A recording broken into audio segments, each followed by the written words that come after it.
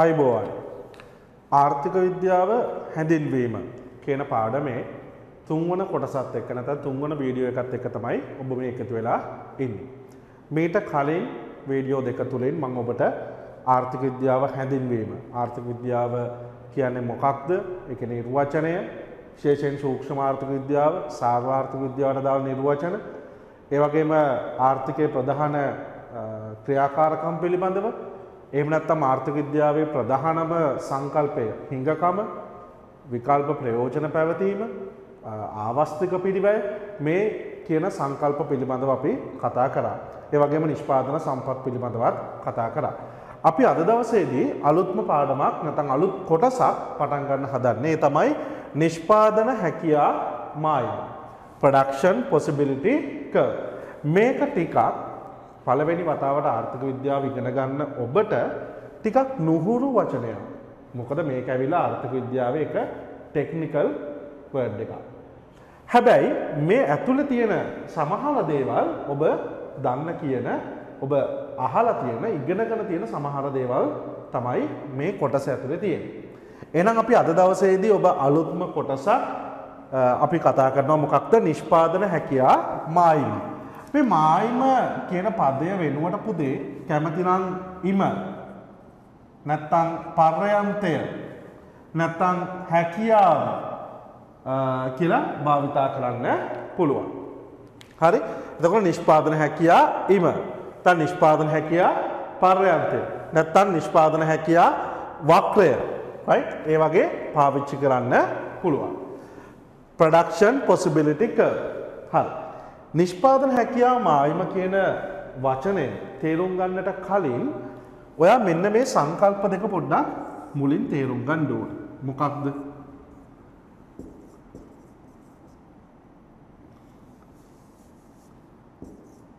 විභව නිෂ්පාදනය සහ සත්‍ය නිෂ්පාදනය විභව නිෂ්පාදනය සහ සත්‍ය නිෂ්පාදනය මේ විභව නිෂ්පාදනයක මේකත් ටිකක් නුහුරු වචනයක්. මේකත් එක ටෙක්නිකල් වර්ඩ් එකක් මේක අපි මෙහෙම කිව්වොත් උපරිම නිෂ්පාදනය. අන්න ඔයගොල්ලන්ට තේරුණා. මොකක්ද? උපරිම නිෂ්පාදනය. හරි? උපරිම නිෂ්පාදනය. කියන්නේ උපරිම නිෂ්පාදනයට තමයි නම් අපි මොකක් කියන්නේද? විභව නිෂ්පාදනය කියන්නේ. අපිට මේකට තව වචනයක් කියන්න පුළුවන්. අපි ඒක පස්සේ එකතු කරගමු. සත්‍ය නිෂ්පාදනය. ඇත්ත වශයෙන් ඇත්ත తත්වය. දැන් උදාහරණයක් වශයෙන් අපි හිතමු අද පන්තියේ ළමයි කී දෙනෙක් ඉන්නවද? ඇත්ත తත්වය. හරි? ළමයි ඉන්නේ 5 දෙනා නම් අද ඉන්නේ 5 දෙනයි. හිතන්න දැන් ඔයා ඉන්න පන්තියේ ඩෙස්ක පහක් තියෙනවා. සරල උදාහරණයක් ගමු. ඩෙස්ක පහක් තියෙනවා. right? එක ඩෙස්ක එකක තුන් දෙනෙක් වාඩි වෙන්න පුළුවන්. එහෙනම් මෙන්න මේ පන්තියේ ඉන්න පුළුවන් සම්පූර්ණ ළමයි ගාන කීයද? කීයද? ළමයි 15යි. මේ පන්තිය තුල ඉන්න පුළුවන් උපරිම ළමයි ප්‍රමාණය කීයද? ළමයි 15යි. අන්නේ 15ට තමයි අපි කියන්නේ මොකක් කියලාද? විභව නිෂ්පාදනය. විභව නිෂ්පාදනය. සත්‍ය නිෂ්පාදනය කියලා කියන්නේ ඇත්තටම අද පන්තියේ ඉන්නේ ළමයි 5 දෙනයි. right? එහෙනම් ඇත්තටම ළමයි ඉන්නේ කීයද? 5 දෙනයි. හරි? සරල අදහසක්. කවදාකවත් පුළුවන් වෙනවද පුතේ සත්‍ය නිෂ් ඇත්තටම ඉන්න ගාන අපි තුමු ළමයි 16කට මේ පන්තියේ ඉන්න පුළුවන් වෙනවද? ළමයි 16කට ඉන්න බෑ. උඩට ඉන්න පුළුවන් ප්‍රමාණය කීයද? 15. ඇයි 16කට ඉන්න බැරි? ඩෙස්ක මදි. ඩෙස්ක මදි. හරි? දැන් ඔයා නිෂ්පාදන සම්පත් ඉගෙනගෙන තියෙන්නේ. ඩෙස්ක කියලා කියන්නේ මොකක්ද? ඩෙස්ක හරි පුටු කියනව අදාළ වෙන්නේ ප්‍රාග්ධනය කියන නිෂ්පාදන සම්පතට. එහෙනම් නිෂ්පාදන සම්පත මදි. නේ? සම්පත් මදි. 15කට වඩා වැඩිපුර යන්න බැරි සම්පත් මදි. ඒ නිසා තියෙන සම්පත් වලට ඉන්න පුළුවන් උපරිම ප්‍රමාණය කීයද? ළමයි 15යි. විභව නිෂ්පාදන. මම තව උදාහරණයක් ගන්නම්. අපි හිතමු වතුර බෝතලයක් තියෙනවා. හරි? වතුර බෝතලයක් තියෙනවා. මේකට උපරිම දාන්න පුළුවන් ජල ධාරිතාවය ලීටර එකයි. ඒ කියන්නේ මේ බෝතලයට වතුර පිරෙවුවොත් උපරිම වශයෙන් ජලය දාන්න පුළුවන් ලීටර එකක් විතරයි. ලීටර එකයි. ඒ කියන්නේ ලීටර එකකට වඩා වැඩි ප්‍රමාණයක් දැම්මොත් මොකද වෙන්නේ? මෙහෙන් ගලාගෙන යනවා. එළියට වැටෙනවා. බෝතලය ඇතුළට පිරෙන්නේ නැහැ. එහෙනම් මේ බෝතලයට දාන්න පුළුවන් උපරිම ප්‍රමාණය ලීටර එකයි. එහෙනම් මේ අපි ලීටර එකට අපිට කියන්න පුළුවන් මොකක් කියලාද? විභව නිෂ්පාදනය. ලීටර එකට වඩා වැඩිපුර දාන්න නම් මොකද අපි කරන්න ඕනේ? එක්ක තව බෝතලයක් ගන්න ඕනේ. හරි? මේ බෝතලෙටම දාන්න බෑ. අපි හිතමු තව බෝතල් ගන්න බෑ. මේ අවස්ථාවේදී තියෙන්නේ මේ බෝතලේ පමණයි. මේ අවස්ථාවේදී තියෙන මේ බෝතලේ පමණයි. එහෙනම් ඒකට දාන්න පුළුවන් ලීටර එකයි. එහෙනම් මේ ලීටර එකට තමයි අපි කියන්නේ මොකක්ද? විභව නිෂ්පාදනය. නැත්නම් උපරිම නිෂ්පාදනය. ඇත්තටම මේ බෝතලේ තියෙන මිලිලීටර් 500යි කියලා හිතන්න. ආ ඒක ඇවිල්ලා සත්‍ය නිෂ්පාදනය. ඒක සත්‍ය නිෂ්පාදනය. මෙතනත් පුළුවන් වෙනවද සත්‍ය නිෂ්පාදනය ලීටර් 1.5ක් වෙන්න? බෑ. කිසි අවස්ථාවක සත්‍ය නිෂ්පාදනයට හැකියාවක් නැහැ මොකක් ඉක්මවා යන්නද? උපරිම තත්ත්වය. නැත්නම් විභව තත්ත්වය ඉක්මවා යන්න හැකියාවක් නැහැ. මම තව උදාහරණයක් ගන්නම්. මේ දවස්වල ඔයගොල්ලෝ O level වලට පාඩම් කරා. නේ? කී දවස් ටිකේ හොඳට O level වලට පාඩම් කරා. මම මෙහෙම ප්‍රශ්නයක් ඇහුවොත් දවසක කොච්චර වෙලාවක් ඔයාට O level වල මොකක් හරි සබ්ජෙක්ට් එකක් වෙනුවෙන් පාඩම් කරන්න හැකියාව තියෙනවා. දවසකට කොච්චර වෙලාවක් ඔයාලට පාඩම් කරන්න හැකියාවක් තියෙනවා. නෑ එක එක ළමයි එක එක උත්තර දෙයි නේ. එක්කෙනෙක් කියයි ඔන්න මට පැය 5ක් පුළුවන්. තව එක්කෙනෙක් කියයි පැය 7ක් පුළුවන්. නැත්නම් පැය 12ක් පුළුවන්. නැත්නම් මට පැය 3යි පුළුවන්. හරි. ඒ වගේ එක එක උත්තර මට ලැබෙයි. නමුත් මම හිතනවා මම අහපු ප්‍රශ්නයට නෙමෙයි ඔයගොල්ලෝ පිළිතුරු දුන්නේ. මං හැවෙත් පාඩම් කරනවා නම් කොච්චර වෙලාවක් කරන්න අපිට ඉඩ ප්‍රස්තාව නැත්තම් හැකියාව තියෙනවා. හැකියාව තියෙනවා. කොච්චරක් තියෙනවා? පාඩම් කරනවා නම් අපිට පැය 24ක් පාඩම් කරන්න වෙලාව තියෙනවා. දවසේ තියෙන උපරිම වෙලාව. දවසේ තියෙන උපරිම වෙලාව. පාඩම් කරනවා නම් පැය 24ක් උපරිම කරන්න පුළුවන්. හැකියාව තියෙනවා. අන්න විභව නිෂ්පාදනය. නැත්නම් විභව දත්තය. දැන් ඔයගොල්ලෝ දුන්න උත්තර ඒ ඇවිල්ලා මොන දත්තද? සත්‍ය தත්ත්වය. මං ඇත්තටම පාඩම් කරන වෙලාව. මම හිතනවා ඔයාලට පැහැදිලි දැන් මොකක්ද මේ විභව නිෂ්පාදනය නැත්නම් විභව තත්ත්වය කියලා කියන්නේ? එහෙම නැත්නම් සත්‍ය නිෂ්පාදනය කියන්නේ. සරලව කිව්වොත් විභව නිෂ්පාදනය කියන්නේ මොකක්ද? උපරිම තත්ත්වය. මම ඒකට තව පොඩ්ඩක් එකතු කරනවා. මං ඉස්සෙල්ලා කිව්වනේ මේ දැනට වතුර බෝතල් එකයි තියෙන්නේ. කියන්නේ සම්පත් ප්‍රමාණය මෙච්චරයි. නැත්නම් පන්තියේදී ඩෙස්ක පහයි තියෙන්නේ. සම්පත් ටික මේ සම්පත් ටික මෙච්චරයි. ස්ථාවරයි. ඩෙස්ක පහයි. සම්පත් ස්ථාවරයි. මෙතන වතුර බෝතල් එකයි. ස්ථාවරයි. වෙලාව පැය 24යි. ස්ථාවරයි. එහෙනම් විභව නිෂ්පාදනය කියන්නේ ඒ අවස්ථාවේදී අපි ළඟ තියෙන සම්පත් වලින් අපිට නිපදවන්න පුළුවන් උපරිම ප්‍රමාණයට අපි කියන මොකක් කියලාද විභව නිෂ්පාදනය කියලා. මම දැන් ඔයාලට කිව්වනේ විභව නිෂ්පාදනයට නැත්නම් උපරිම නිෂ්පාදනයට මම තව එක වචනයක් එකතු කරනවා. විභව නිෂ්පාදනය කියන්නත් පුළුවන් උපරිම නිෂ්පාදනය කියන්නත් පුළුවන් නැත්නම් ඔයාට කියන්න පුළුවන් නිෂ්පාදන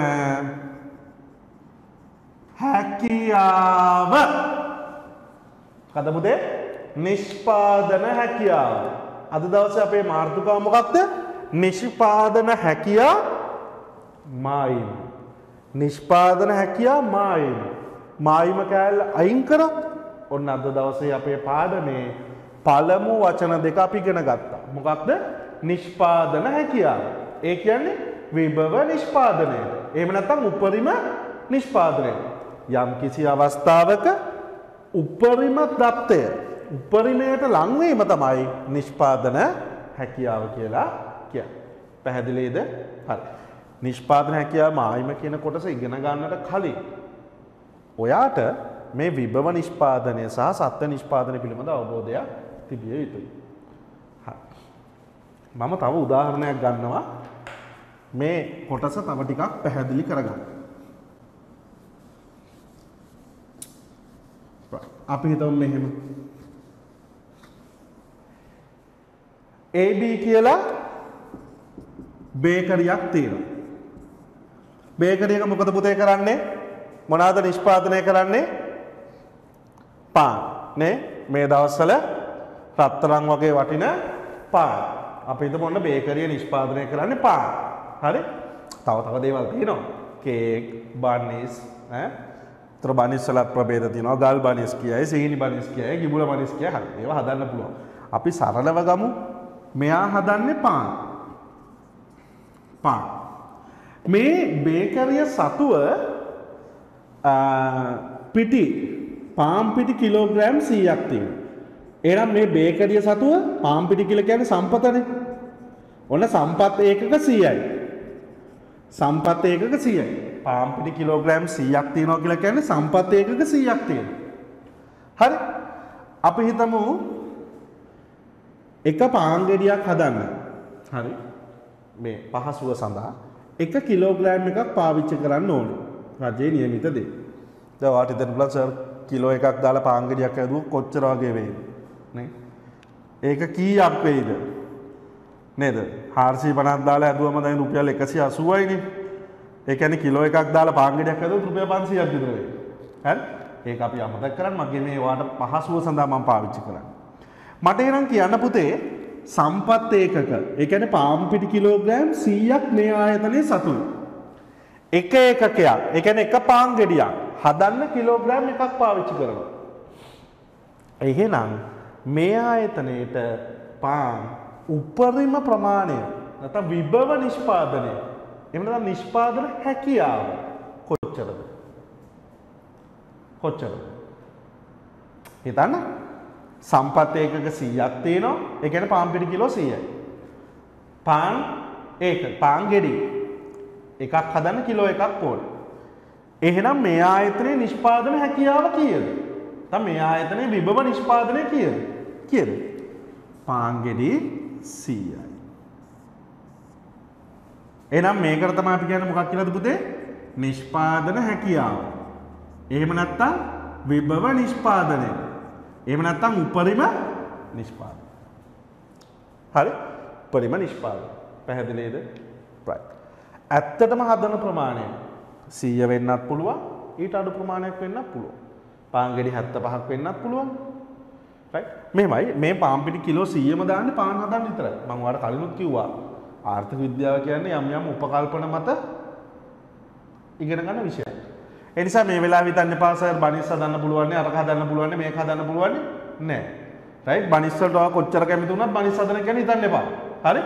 ඔයා හිතන්න ඕනේ මේ ආයතනය හදන්නේ පාන් විතරමයි. පාන් විතරමයි මෙයා හදන්නේ. සම්පත් ඒකක 100ක් තිබ්බා.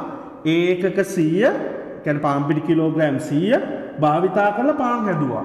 එක පාන් ගෙඩියකට කිලෝග්‍රෑම් එකක් ඕන නම් එයාට පුළුවන් උපරිම වශයෙන් කිලෝ 100ක්ම හදන්න.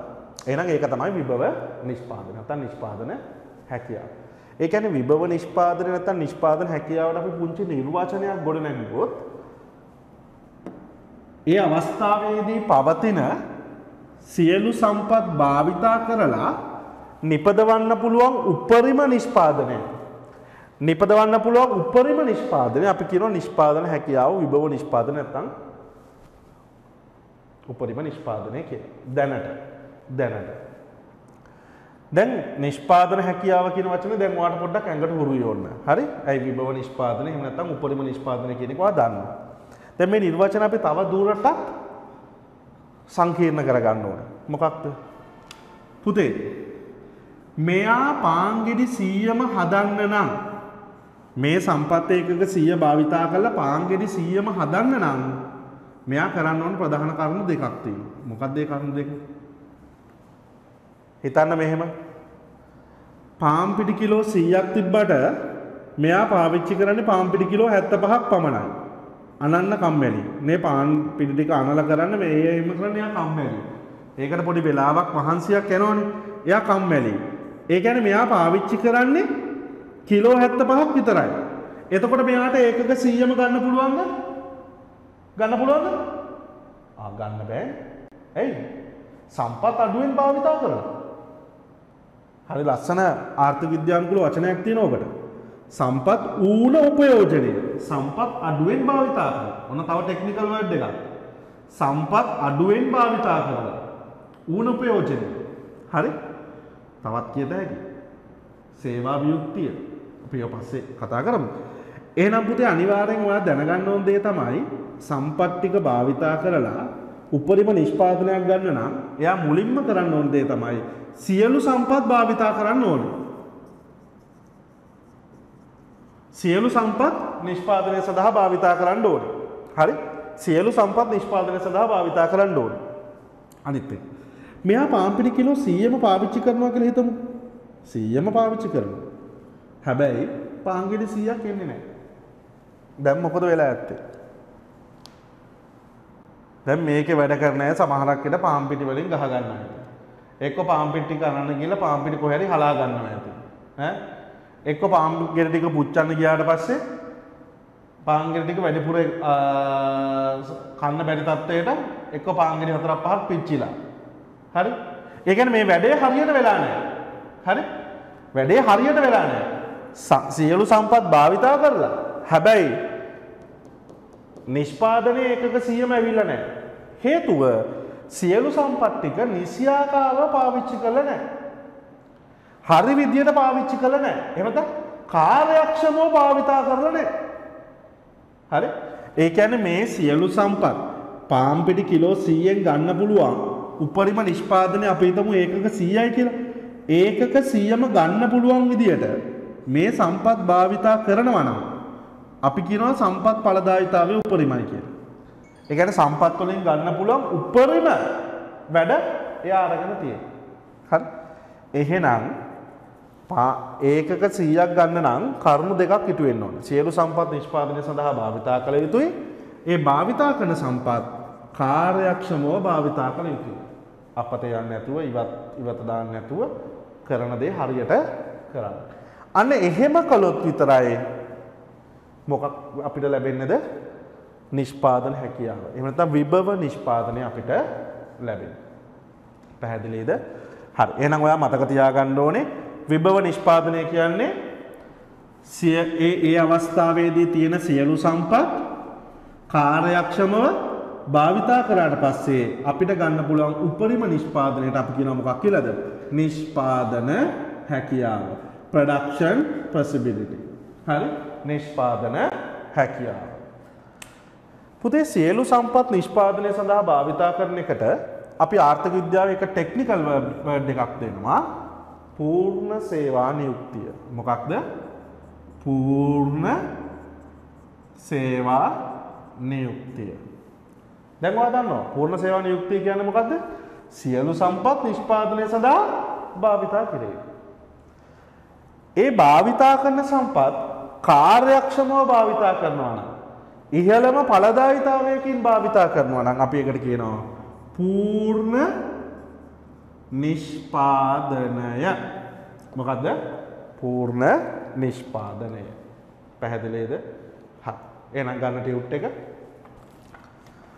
රයි දා හතරවන පිටුව නිෂ්පාදන හැකියා මායම රයිට් මං කිව්වා නිෂ්පාදන හැකියා මායම කියන එකට ඕනනම් නිෂ්පාදන හැකියා ඉම සමහර පොත්පත්වල එහෙම තියෙනවා නැත්නම් නිෂ්පාදන හැකියා පර්යන්තය නැත්නම් නිෂ්පාදන හැකියා වක්‍රය එහෙම කියන්න පුළුවන්. හරි. නිෂ්පාදන හැකියාව. එහෙම නැත්නම් විභව නිමයුම. දැන් ඔයා දන්නවා. දැන් මෙතන නිර්වචන ගොඩනගා ගන්න පුළුවන්. මොකක්ද? ආර්ථිකයේ සතු සියලු සම්පත් ඉහළම කාර්යක්ෂමතාවයකින් භාවිතා කරාට පස්සේ නිපදවන්න පුළුවන් උපරිම නිෂ්පාදනය. අපි කියන මොකක් කියලාද? විභව නිෂ්පාදනය කියලා. හරි? බලමු. දෙන ලද අවස්ථාවක හරි ආර්ථිකය සතු සියලු සම්පත්. මේ අවස්ථාවේ ආර්ථිකයට තිබ්බ සම්පත් ඒකක 100යි. ඒ කියන්නේ පාම්පිටි කිලෝග්‍රෑම් 100යි. සියලු සම්පත් පවත්නා තාක්ෂණයේ අර්ථය. උපරිම කාර්යක්ෂමතාවයකින් සියලු සම්පත් උපරිම කාර්යක්ෂමතාවයකින් භාවිතා කළ විට නිපදවිය හැකි උපරිම බහණ්ඩ හා සේවා ප්‍රමාණය. පැහැදිලිද පුතේ එහෙනම් විභව නිෂ්පාදනය නැත්තම් නිෂ්පාදන හැකියාව කියලා කියන්නේ නිපදවන්න පුළුවන් උපරිම ප්‍රමාණය. ආර්ථිකයකට විභව නිමයුම හෙවත් නිෂ්පාදන හැකියාව ළඟා කර ගැනීමට නම් පහත කොන්දේසි සම්පූර්ණ වෙන්න ඕන. ඔයා දැන්ටමත් දන්නවා කොන්දේසි දෙක. මොකක්ද? මොකක්ද? සියලු සම්පත් නිෂ්පාදනය සඳහා භාවිතා වෙනවා. ඒකට අපි කියන ටෙක්නිකල් වර්ඩ් එක මොකද්ද? පූර්ණ සේවා නියුක්තිය. දෙවැනි එක සියලු සම්පත් භාවිතා කළත් වැඩක් නැහැ. ඒ සම්පත් කොහොම භාවිතා කරේ නැත්තම්ද? කාර්යක්ෂමව භාවිතා කළේ නැත්තම්. සම්පත් කාර්යක්ෂමව භාවිතා කරනවා කියන එකට අපි කියන ටෙක්නිකල් වර්ඩ් එක මොකද්ද? නිෂ්පාදන. සෝරි පූර්ණ නිෂ්පාදනය. හරි. පුතේ මේ නිෂ්පාදන හැකියාව නැත්නම් විභව නිමවුම කියන එක ඒක පොඩ්ඩක් හයිලයිට් කරගන්න නිර්වචන හයිලයිට් කරගන්න. හයි. පූර්ණ සේවා නියුක්තිය වර්තමානයේ නිෂ්පාදනයට යොදා ගැනීමට හැකියාව ඇති සියලු සම්පත් නිෂ්පාදනයට යොදා ගැනීමයි. මෙහෙමයි පුතේ. නිෂ්පාදනයට යොදා ගැනීමට හැකියාව ඇති සියලු සම්පත්. තියෙන හැම සම්පතක්ම පාවිච්චි කරන්න කියලා නෙමෙයි මේ කියන්නේ. නිෂ්පාදනයට භාවිතා කළ හැකි භාවිතා කළ හැකි සියලුම සම්පත්. හරි? පූර්ණ නිෂ්පාදනය. භාවිතා කරන සියලු සම්පත්වල උපරිම ඵලදායීතාවය. උපරිම ඵලදායීතාවය. ඵලදායීතාවය උපරිම වශයෙන් ලබා ගන්න නම් මේ සම්පත කාර්යක්ෂමව භාවිතා කරන්න ඕනේ. සම්පත කාර්යක්ෂමව භාවිතා කරන්න ඕනේ. හරි. ඊළඟ අනුමාර්ථකාව මෙම නිෂ්පාදන හැකියාව ප්‍රධාන ක්‍රම කීපයකට පෙන්눔 කළ හැක. හරි. එහෙනම් අපි හදන්නේ නිෂ්පාදන හැකියාව පෙන්눔 කරන්න. හරි? දැන් ඔයාලට මේ විභව නිෂ්පාදනය, උපරිම නිෂ්පාදනය කියන වචන වලට වඩා ඔයා මතක තියාගන්න උත්සාහ කරන්න ඕනේ මොකක් කියලාද? මොකක් කියලාද? නිෂ්පාදන හැකියාව. ඒ කියන්නේ නිපදවන්න පුළුවන් සරලව මතක තියාගන්න සරලව නිපදවන්න පුළුවන් උපරිම ප්‍රමාණය. හරි? යම් අවස්ථාවක ආර්ථිකයට නිපදවන්න පුළුවන් උපරිම ප්‍රමාණය තමයි අපි කියන්නේ මොකක් කියලාද නිෂ්පාදන හැකියාව කියන්නේ. හරි. මම යනවා තව උදාහරණයකට වාට මේ නිෂ්පාදන හැකියා ලේඛනය කියන්නේ මොකක්ද? ඊළඟ එක නිෂ්පාදන හැකියා මායිම කියන්නේ මොකක්ද? මේ දෙක මේව කරගන්න නම් අපි කලින් නිෂ්පාදන හැකියා ලේඛනය කියන්නේ මොකක්ද කියලා ඉගෙන ගන්න ඕනේ. අර මම ගත්ත උදාහරණයම ගන්න. AB කියලා බේකරියක් තියෙනවා. මෙයා සතුව පාම් පිටි කිලෝ 100ක්. ඒ කියන්නේ සම්පත් ඒකක 100ක් තියෙනවා. හරි? මම දැන් පොඩ්ඩක් මේ උදාහරණය තව චුට්ටක් ඉස්සරහට ගෙනියනවා. ඒ කියන්නේ ඉස්සල්ලා හැදුවේ පාන් විතරයිනේ. එක පාන් ගෙඩියක් හදන්න කිලෝ එකක් ඕනේ කිව්වනේ ඔයගොල්ලන්ට. right. මම දන්නවා ඔයගොල්ලෝ පාන් වලට විතරක් කැමති නෑ. ඔයගොල්ලෝ බනිස් වලටත් කැමතියි. හරි? ඒ නිසා මම හිතුවා මෙයාට පාන් හදන්නත් පුළුවන් මෙයාට බනිස් හදන්න පුළුවන් කියලා පොඩි අයිඩියා එකක් ගන්න. බනිස් හදනවා නම් එක බනිස් ගෙඩියකට ග්‍රෑම් 500ක්. නේ ග්‍රෑම් 500ක් දැම්මම දැන් ඒ කියන්නේ බනිස් ගෙඩිය පාන් ගෙඩිය දෙකක් වගේ පාන් ගෙඩියක් තරම් වගේ ලොකු වෙනවා ඈ. රයිට් ඒව හිතන්න එපා බනිස් ලොකු වෙන එක ගැන හිතන්න එපා අපේ මේ ඉගෙන ගන්න නැත්නම් සංඛ්‍යාත්මක ඉගෙනීමේ පහසුවට මම මෙහෙම ගන්නම්. මොකක්ද? AB කියන බේකරියට ඔන්න නිෂ්පාදන වර්ග දෙකක් හදන්න පුළුවන්. හරි ඒ කියන්නේ ඒකින් අය දන්නවා පාන් හදන්නත් දන්නවා බනිස් හදන්නත් දන්නවා. පාන් හදනවා නම් එක පාන් ගෙඩියක් හදන්න කිලෝ එකක්. බනිස් හදනවා නම් කොච්චරද ග්‍රෑම් පන්සීයයි. හරි. ප්‍රයිට් මෙහෙම හිතමු අපි.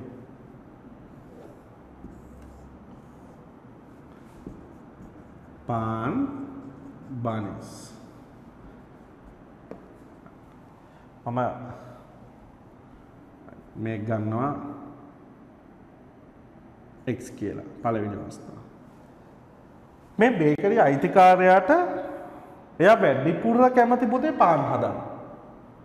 හරි වෙළඳ පොලේ තියෙන මිලදී බාණ්ඩ මිලදී ගැනීමේ ක්‍රියාවලිය දිහා බලනකොට එයාට හිතෙනවා වැඩිපුර පාන් හදලා දැම්මොත් තමයි එයාට වාසි ගන්න පුළුවන් කියලා. ඒ නිසා එයා හිතන්න පාන් හදන්න මේ පාන් පිටි කිලෝ 100ම එයා පාවිච්චි කරනවා. පාන් නිෂ්පාදනය වෙනුවෙන් ඒ තියෙන සියලු සම්පත් භාවිතා කරනවා. එතකොට මොකද වෙන්නේ? ඔන්න පාන් හදන්න පුළුවන් කීයද පාන් ගෙඩි 100ක් හදන්න පුළුවන්. ඇයි එකකට 1 කිලෝ එකක් යනවනේ. පාන් ගෙඩි 100ක් හැදුවොත් බනිස් හදන්න පුළුවන්. බෑ. බනිස් හදන එක බිඳුව. ඇයි? පාන් පිටි කිලෝ 100ක් පාවිච්චි කරලා තියෙන මොනවා හදන්න? මොනවා හදන්න? පාන් හදන්න. ඒතර පාන් ගෙඩි 100ක් හදන්න. එහෙනම් ඔන්න එක අවස්ථාවක් පාන් ගෙඩි 100ක් මෙයාට හදන්න පුළුවන්. එතකොට බනිස් හදන්න බෑ. ඔන්න එක අවස්ථාවක්. මේ උපරිම දත්තයන් නේද මේ තියෙන්නේ? ඔව්. සියලු සම්පත් භාවිතා කරොත් ඉහළම කාර්යක්ෂමතාවයකින් භාවිතා කරොත් හදන්න පුළුවන් උපරිම දත්තයක් තියෙනවා මෙතන. මොනවාද පාන් ගෙඩි 100. ටික කාලයක් යනකොට මෙයා කල්පනා කරනවා මම පානුයි බනිසුයි සමානව හදනවා. ඒ කියන්නේ පාන් හදන්න දානවා පාන් පිටි කිලෝ 50ක්. බනිස් හදන්නත් දානවා පාන් පිටි කිලෝ 50ක්.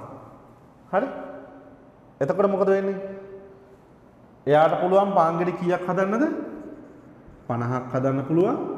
බනිස් කොච්චරක් හදන්න පුළුවන්ද? කිලෝ 50ක් තියෙනවනේ. එකකට යන්නේ 500යිනේ. ඒ කියන්නේ කිලෝ එකකින් දෙකක් හදන්න පුළුවන්. එහෙනම් 50කින් කීයද? 100ක් හදන්න පුළුවන්. ඔන්න මේ නිෂ්පාදකයාට කරන්න පුළුවන් තව උපරිම දත්තයක්. y කියන තත්ත්වය ගත්තොත් මේ නේද පාන් පිටි කිලෝ 100ක් භාවිතා කරලා හදන්න පුළුවන් උපරිම නිෂ්පාදනය මෙතන තියෙනවනේ අර පුතේ. මේ කිලෝ 50 50 දෙපැත්තට බෙදාගත්තම කිලෝ 50ක් පාන් හදන්න දැම්මොත් උපරිම හදන්න පුළුවන් 50ක්. ආයා 50 හදලා තියෙනවා. බනිස් හදන්න පුළුවන් එකකට 500යි ග්‍රෑම් 500යි. ඒ නිසා බනිස් ගෙඩි 100ක් හදන්න පුළුවන්. ආ. ඒ කියන්නේ මේ කිලෝග්‍රෑම් 100න් හදන්න පුළුවන් උපරිම ප්‍රමාණය මෙතනක් තියෙනවා. ටික දවසක් යනකොට මෙයාට හිතෙනවා මං එක ඉසෙට් කියලා ගන්න. දැන් මිනිස්සු වැඩිපුර පාන් කන්න කැමති නෑ. මිනිස්සු කැමතිම බනිස් වලට. ලොකු බනිස් වලටමයි කැමති. හරි? මිනිස්සු වැඩිපුර කැමති බනිස් වලට. ඒ නිසා මම මේ පාම් මේ පාම් පිටි ටික මං ගාව තියෙන සම්පත් ටික සියල්ල මම දානවා මොනා හදන්නද? සියල්ල මම දානවා බනිස් හදන්න. සියල්ල මම දානවා බනිස් හදන්න. එතකොට බනිස් කොච්චරක් හදන්න පුළුවන්ද? එකක් හදන්න එකක් හදන්න ග්‍රෑම් 500ක් යනවනේ. එතකොට කිලෝ එකකට දෙකක් හදන්න පුළුවන්. එහෙනම් කිලෝ 100ක් තියෙනවා. කීයක් හදන්න පුළුවන්ද? 200ක් හදන්න. එහෙනම් ඔන්න 200ක් හදන්න හැබැයි එතකොට පාන් හදන්න බෑ. පුතේ මේකත් විභව අවස්ථාවක්ද? ඔව්නේ. උපරිම නිෂ්පාදනය මෙතනක් තියෙනවනේ. එහෙනම් මම මේ ඔයාට කිව්වේ මේ AB කියන ව්‍යාපාරය සතු සම්පත් ඒකක 100 නැත්නම් පාන් පිටි කිලෝග්‍රෑම් 100 පාවිච්චි කරලා එයාට හදන්න පුළුවන් උපරිම නිෂ්පාදන අවස්ථා තුනක්. right? මේ අවස්ථා තුනම එයාට එකපාර හදන්න පුළුවන්. බෑ. ඈ? එතකොට ඔක්කොම එහෙම බැලුවොත් එම් පාන් ගෙඩි 150යි බනිස් ගෙඩි 300යි. හදන්න පුළුවන්. පාන් ගෙඩි 150ක් හදන්න නම් පාන් පිටි කිලෝ 150ක් ඕන. බනිස් ගෙඩි 300ක් හදන්න නම් මේ පාම්පිටි කිලෝ 150ක් ඕනේ. එතකොට ඔක්කොම පාම්පිටි කිලෝ 300ක් ඕනේ. එයා ගා පාම්පිටි කිලෝ 300ක් නෑ. එයාට තියෙන 100. ඒ නිසා මේ මේ තුනම එකපාර හදන්න බෑ. අනිවාර්යෙන් එක අවස්ථාවකදී හදන්න පුළුවන්. මේ අවස්ථා තුනෙන් එකක් විතරයි. එක්කෝ x කියන අවස්ථාව හදන්න පුළුවන්. නැත්නම් y කියන අවස්ථාව හදන්න පුළුවන් නැත්නම් z කියන අවස්ථාව. හරි? මෙයාට මේ අවස්ථා තුනෙන් කැමති එකක් හදන්න පුළුවන්. මෙන්න මේ අවස්ථාවලට අපි කියන පුතේ හරි ලස්සන වචනයක්. මොකක්ද? විකල්ප නිෂ්පාදන සංයෝග. මේ සම්පත් වලින් උපරිම ගන්න පුළුවන් උපරිම ප්‍රයෝජන සහිත අවස්ථා තුනක් තියෙනවා. ඒකට කියනවා විකල්ප නිෂ්පාදන සංයෝග කියලා. දැන් ඔයාලට මම මෙහෙම කියනකොට තව පොඩි කොටසක් මතක් වෙන්න ඕනේ. මොකක්ද? හිඟ සම්පත් වල විකල්ප ප්‍රයෝජන පැවතේ. නේ? මං එතන පැහැදිලි කරා. අපි පන්ති කාමරයක් ගත්තොත් ගොඩනැගිල්ල කියන හිඟ සම්පතේ විවිධ ප්‍රයෝජන ගන්න පුළුවන්. මොනවාද? පන්ති කාමරයක් විතර මේක පවත්වාගෙන යන්න පුළුවන්. එහෙනම් මේක කඩ කාමරයක් විතර ගන්න පුළුවන්. එහෙනම් මේකේ නිවාසයක් විතර ගන්න පුළුවන්. ඒ වගේ පාම් පිටි කිලෝ 100 කියන සම්පතෙන් මෙන්න විකල්ප අවස්ථා. ඒ සම්පතෙන් එක්ක පාන් විතරක් හදනවා නම් පාන් ගෙඩි 100ක් හදන්න පුළුවන්. ඒක විකල්ප අවස්ථාව. එහෙම නැත්නම් පාන්ගෙඩි බනිසුයි සමානව හදනවනම් පාන් 50යි බනිස් 100ක් හදන්න පුළුවන්. මොන තව විකල්ප අවස්ථා. බනිස් විතරක් හදනවා නම් බනිස් කිරි 200ක් හදන්න පුළුවන්. ඔන්න විකල්ප අවස්ථාව.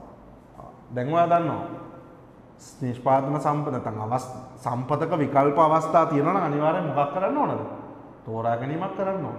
ඒ නිසා මේ AB කියන ව්‍යාපාරයත් මෙන්න මේ විකල්ප අවස්ථාවලින් එකක් නිෂ්පාදනය කරන්න. ඇත්තටම නිෂ්පාදනය කරන්න මේ විකල්ප අවස්ථාවලින් එකක් අනිවාර්යෙන් තෝරගන්න ඕනේ. නේ? ඒක අපි පැත්තකට තියමු. දැන් ඔන්න විකල්ප නිෂ්පාදන සංයෝග ඇතුළත් මම ලේඛනයක් පිළියෙල කළා තියෙනවා. මේ ලේඛනයේ තියෙන සියලු දත්ත උපරිම නිෂ්පාදන දත්ත නේද තියෙන්නේ? මේ දත්ත සියලුම දත්ත විභව නිෂ්පාදන දත්ත නේද තියෙන්නේ? එහෙනම් මෙන්න මේකට කියනවා නිෂ්පාදන හැකියා ලේඛනය. මොකද පුතේ? නිෂ්පාදන හැකියා ලේඛනය. ආර්ථිකය සතු සියලු සම්පත් ඉහළම ඵලදායීතාවයකින් ඉහළම කාර්යක්ෂමතාවයකින් භාවිතා කරාට පස්සේ නිපදවන්න පුළුවන් විකල්ප නිෂ්පාදන සංයෝග විකල්ප නිෂ්පාදන සංයෝග වගුවක් ආකාරයෙන් ඉදිරිපත් කරනවා නම් ඒකට අපි කියන මොකක් කියලාද නිෂ්පාදන හැකියා ලේඛනය මොකක් කියලාද කියන්නේ නිෂ්පාදන හැකියා ලේඛනය. පැහැදිලිද? හරි. බලමු අපිට උට් එක. ආර්ථිකයේ සතු සියලු සම්පත් පවත්නා තාක්ෂණයේ අර්ථය උපරිම කාර්යක්ෂමතාවයකින් භාවිතා කළ විට නිපද විය හැකි උපරිම විකල්ප නිෂ්පාදන සංයෝග ඉරි ගහගන්න මාක් කරගන්න නිපද විය හැකි උපරිම විකල්ප නිෂ්පාදන සංයෝග සටහන් කරන ලේඛනය වේ. නිපද විය හැකි උපරිම බාන මේ හැම දත්තයක්ම උපරිම දත්ත. ඒ උපරිම දත්ත ඇතුළත් කරලා හදන ලේඛනය අපි කියන මොකක් කියලාද නිෂ්පාදන හැකියා ලේඛනය කියලා. පැහැදිලිද? හරි. පුංචි උදාහරණයක් තියෙනවා පුතේ. එක්තරා ආර්ථිකයක නිෂ්පාදන හැකියාව ලෙස සහල් පමණක් නිෂ්පාදනය කළහොත්. සහල් ඒකක 100ක්ද. ඒ කියන්නේ සම්පූර්ණ නිෂ්පාදන සම්පත් සහල් වෙනුවෙන් පාවිච්චි කළොත් සහල් ඒකක 100ක් හදන්න පුළුවන්. රෙදි පමණක් හැදුවොත් රෙදි පමණක් නිෂ්පාදනය කරනවා නම් රෙදි ඒකක 50ක් නිපද විය හැකියි. හරි? රෙදි නිෂ්පාදනය ඒකක 10කින් වැඩි කිරීමට සහල් නිෂ්පාදන ඒකක 20කින් අඩු කළ යුතු යයි උපකල්පනය මත පහත නිෂ්පාදන හැකියා ලේඛනය සම්පූර්ණ කරන්න. මොකක්ද දැන් මේ කියන්නේ? හරි සරලයිනේ. සියලු සම්පත් ටික සහල් වලට දැම්මොත් සහල් ඒකක 100යි. සියලු සම්පත් රෙදි වලට දැම්මොත් රෙදි ඒකක 50යි. හරි? ඒකට මේ තියෙන්නේ විභව දත්ත නේද? පරිම දත්ත නේද?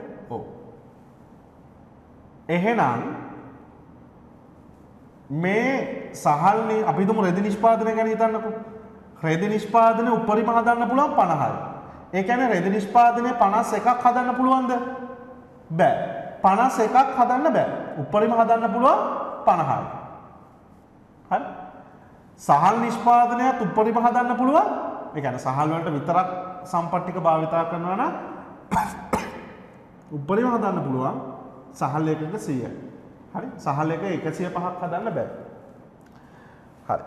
දැන් ඔයාට කියනවා ඒ වගේම ඔයාට කියනවා රෙදි නිෂ්පාදන ඒකක 10ක් වැඩි කිරීමට. හරි. රෙදි ඒකක 10ක් හදන සම්පත් වලින් සහල් ඒකක 20ක් හදන්න පුළුවන්.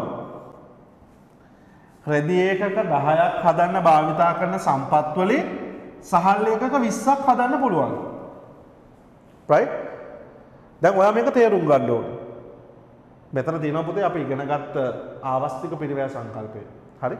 නිෂ්පාදන හැකියාවත් එක්ක එකට එනවා ආවස්තික පිරිවැය. නමුත් අපි AT ආදර්ශයේදී ආවස්තික පිරිවැය ගණනය කිරීම කියන කතාව අපි කතා කරේ නෑනේ. අපි කතා කරේ ආවස්තික පිරිවැය කියලා කියන්නේ විකල්ප නිෂ්පාදන අතුරින් එක් අවස්ථාවක් තෝරගන්නවා. ඒ නිසා කැප කරන්න සිදුවන හොඳම ඊළඟ විකල්ප අවස්ථාවේ වටිනාකම. නේ? හොඳම කැපකිරීම තමයි ආවස්තික පිරිවැය කියලා කියන්නේ. නමුත් ආවස්තික පිරිවැය ගණනය කරන්නත් පුළුවන්. ඉස්සරහට ඔයගොල්ලන්ට ඉස්සරහ පාඩම් වලදී ඒක කතා වෙනවා. මෙතන දැන් එහෙම තත්ත්වයක් තමයි කියන්නේ. ඒ කියන්නේ රෙදි ඒකක 10ක් කැප කළොත් සහල් ඒකක 20ක් හදන්න පුළුවන්. එහෙම නැත්නම් සහල් ඒකක 20ක් හදක හදන එක කැප කරොත් රෙදි ඒකක 10ක් හදන්න පුළුවන්. ඒක පාවිච්චි කරලා මෙන්න මේ පහත නිෂ්පාදන හැකියා ලේඛනය සම්පූර්ණ කරන්න කියලා කියනවා. මෙතන වාට විකල්ප නිෂ්පාදන සංයෝග මේ මම වාට මේ කරාවගේ XYZ කියන මේ විකල්ප නිෂ්පාදන සංයෝග කිහිපයක් දීලා තියෙනවා. A B C D E F කියලා. හරි. එතකොට ඒ අවස්ථාව තමයි මේ පළවෙනි එක. මේ තියෙන්නේ. සහල් ඒකක 100ක්. සියලු සම්පත් සහල් වලට පාවිච්චි කරනවා. එතකොට රෙදි හදන්න බෑනේ. සහල් 100 නම් රෙදි බිඳුවයි. B C D E කියන අවස්ථාව වලට පුරවන්න තියෙනවා. F අවස්ථාව. සියලු සම්පත් රෙදි වලට පාවිච්චි කරනවා. එතන පුතේ පොඩි printing mistake එකක් තියෙනවා. එතන 100 නෙමෙයි එන්න ඕනේ. F වල සහල් බිඳුවයි. සියලු සම්පත් රෙදි වලට පාවිච්චි කරාම සහල් බිඳුවයි. සහල් හදන්න බෑ. හැබැයි රෙදි එක හදන්න පුළුවන් 50යි. පොඩි printing mistake එකක් තියෙනවා. එතන හදාගන්න 100 කපලා එක 50 කරගන්න. හරි. දැන් ඔයා උත්සාහ කරන්න මේ හැකියා ලේඛනය සම්පූර්ණ කරන්න.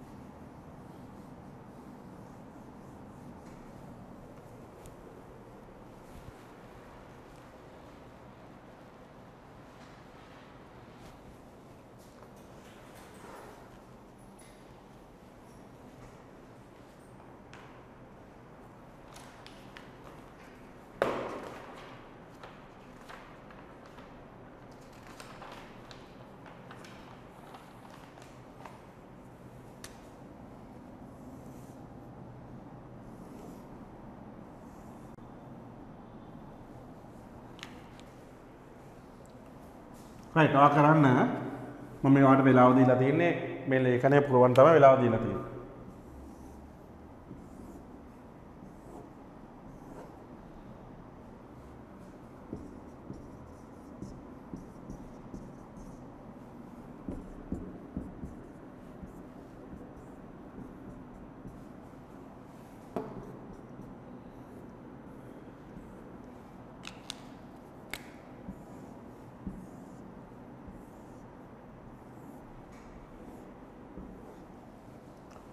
හයි වාට දත්තය දීලා තියෙනවා ඒ සියලු සම්පත් සහල් වලට පාවිච්චි කරනවා එනම් සහල් උපරිම වශයෙන් 100ක් හදන්න. එතකොට රෙදි හදන්න බෑ. අපි තුමු සියලු සම්පත් සහ රෙදි නිෂ්පාදනය සඳහා පාවිච්චි කරනවා රෙදි එකක 50ක් හදන්න පුළුවන්. එතකොට සහල් හදන්න බෑ. ඒ වගේම ඔයාගේ වාසියට කියනවා රෙදි ඒකක 10ක් වෙනුවට සහල් ඒකක 20ක් හදන්න පුළුවන්. හරි? රෙදි ඒකක 10ක් වෙනුවට සහල් ඒකක 20ක්. අපි මේ පැත්තේ යන්. දැන් රෙදි 50ක් හදන්න පුළුවන් නේ. මෙයා රෙදි ඒකක 10ක් හදන එක නවත්තනවා. ඒ කියන්නේ දැන් රෙදි එක කීයද හදන්නේ? 40යි හදන්නේ. එහෙනම් රෙදි ඒකක 40ක් හදනවා. ඒ කියන්නේ මේ ආයතනයේ සතු සම්පත් වලින් කොටසක් විතරයි මේ රෙදි වලට පාවිච්චි කරන්නේ. ඉතුරු කොටසෙන් සහල් එක කීයක් හදන්න පුළුවන්ද? 10ක් හදන්න. රෙදි ඒකක 10ක් නේද? රෙදි නිෂ්පාදන ඒකක 10කින් වැඩි කිරීමට සහල් ඒකක 20ක් කැප කරන්න ඕන. සරි. මෙතන එන්න ඕන 20යි. හරි. මම බැලුවේ ඒකයි. රයිට්? රෙදි ඒකක 50ක් හැදුවනේ. දැන් හදන්නේ 40යි. ඒ කියන්නේ රෙදි ඒකක 10ක් හදන්නේ නැහැ. එහෙනම් ඒ 10 හදපු සම්පත් භාවිතා කරලා සහල් ඒක කීයක් හදන්න පුළුවන්ද? 20ක් හදන්න. මෙන්න පුතේ 20. අනිත් පැත්තට ගන්නත් පුළුවන්. මොකක්ද? සහල් ඒකක 20ක් හදන එක නැවතුවා. ඕන දැන් අපි හිතමු දැන් හිටියේ සහල් ඒකක 20යි රෙදි ඒකක 40යි හදපු අවස්ථාවේ. හරිද? දැන් සහල් ඒකක 20ක් හදන එක නැවතුවා. ආ බිඳුවයි.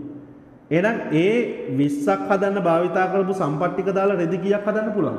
10ක්. එහෙනම් 40ක් හදුවා අර සම්පත් භාවිතා කළ තව 10ක් හදන්න පුළුවන්. ආ අන්න 50යි. හරි. ඒ විදිහට මෙතනටත් අපිට දැහැකි. කැමැති පැත්තකින් මේක හදන්න පුළුවන්. දැන් හදන්නේ සහල් ඒකක 80යි කියලා හිතන්න. ඒ කියන්නේ සහල් ඒකක 20ක් හදන එක නැවැත්තුවා. සහල් ඒකක 20ක් හදන එක නැවැත්තුවා නම් ඒ සහල් ඒකක 20ක් හදන සම්පත් වලින් රෙදි එක කීයක් හදන්න පුළුවන්ද? 10ක් හදන්න පුළුවන්. මේ සම්පත් වලින් කොටසක් වැඩිපුර කොටසක් ගත්ත සහල් හදන්න. එතකොට ඒ කොටස උපරිම පාවිච්චි කරලා සහල් ඒකක 80ක් හැදුවා. ඉතුරු ටිකෙන් රෙදි ඒකක 10ක් හැදුවා. මෙන්න විකල්ප අවස්ථාව. දැන් තවත් අඩු කරනකොට හිතන්න සහල් 20ක්. දැන් හදන්න පුළුවන් 60යි. එහෙනම් මේ 20ක් හදන එක නැවැත්තුව නිසා රෙදි එකක කීයක් හදන්න පුළුවන්ද? 10ක් හදන්න පුළුවන්. එතකොට මේ 10යි මේ 10යි කීයද? 20යි. දැන් අපි තව සහල් ඒකක 20ක් හදන එක නවත්තනවා. එතකොට කීයද? 40යි. 60 ඉඳන් 40 වෙනකම් 20ක් හදන එක නැවැත්තුවානේ. ඒ 20 හදපු සම්පත් ටික දැන් ඉතිරිනේ. එන ඉතිරි සම්පත් පාවිච්චි කළ තව රෙදි එකක 10ක් හදන්න පුළුවන්. එහෙනම් ඉස්සෙල්ලා 20ක් හැදුවා අර ඉතිරි සම්පත් වලින් 10ක් හැදුවම කීයද? 30යි. මම ඔන්න තව ඒ සහල් ඒකක 20ක් හදන එක නතර කරනවා. ඔන්න අඩු කරා 20ක්. දැන් හදන්නේ 20යි. රෙදි එකක 30ක් හදාද හිටියා. අර 20ක් හදන එක නතර කරපු නිසා තව ඒ ඒ ඒ ඒ ඉතිරි වෙච්ච සම්පත් වලින් තව රෙදි එකක 10ක් හදන්න පුළුවන්. එතකොට කීයක් හදන්න පුළුවන්ද? 40ක්. පැහැදිලිද? හරි. එහෙනම් මේ තියෙන්නේ මොනවද පුතේ? ඒ අවස්ථාවේදී ඒ සම්පත් භාවිතා කරලා හදන්න පුළුවන් විකල්ප නිෂ්පාදන සංයෝග. ඒක ලේඛනයකට දැම්මට පස්සේ අපි ඒකට මොකක් කියනවද? නිෂ්පාදන හැකියා ලේඛනය කියලා කියනවා. හරි. එහෙනම් අපි ඔන්න අපේ ප්‍රධාන මාතෘකාවට අද යන්න හදන්නේ. මොකක්ද? නිෂ්පාදන හැකියා මායි. නැත්තම් නිෂ්පාදන හැකියා වක්‍රය. මෙතනට යන්න තමයි මම මෙච්චර වෙලා ඔයාට ටිකෙන් ටික ටිකෙන් ටික ඔයාව අරගෙන ආවේ.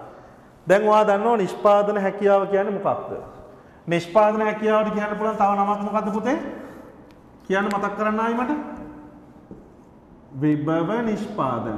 එහෙම නැත්නම් උපරිම නිෂ්පාදනය. විභව නිෂ්පාදනය කියන්නේ මොකක්ද? එනද උපරිම නිෂ්පාදනය කියන්නේ මොකක්ද?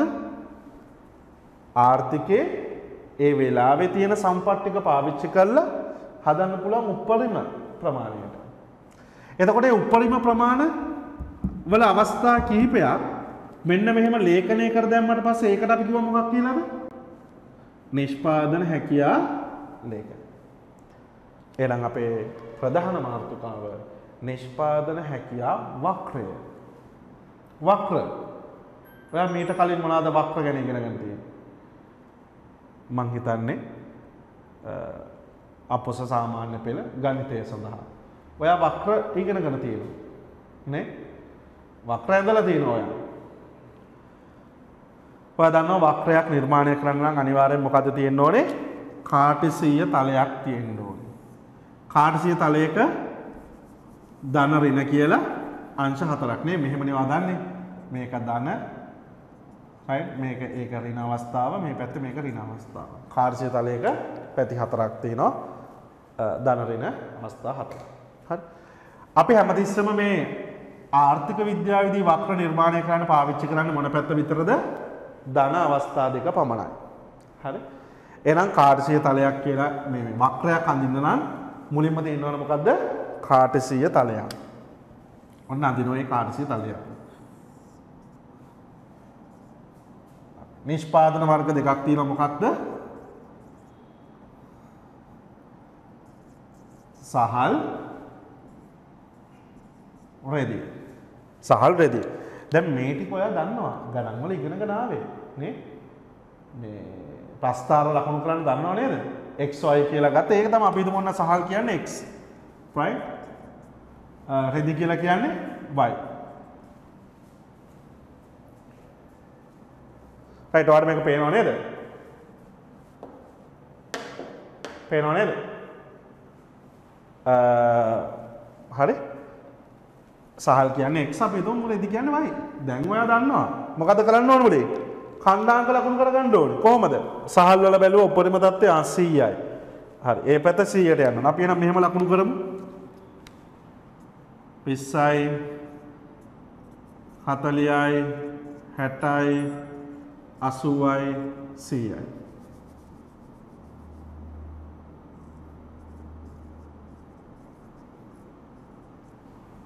රෙදිවල උපරිම?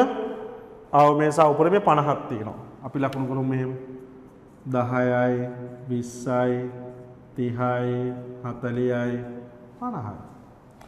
රයි දැම් ප්‍රස්ථාර ලකුණු කරන්න තියෙන මෙතරින් යාටවා දන්නවා. මෙන්න පළවෙනි කණ්ඩාංකය. මොකක්ද?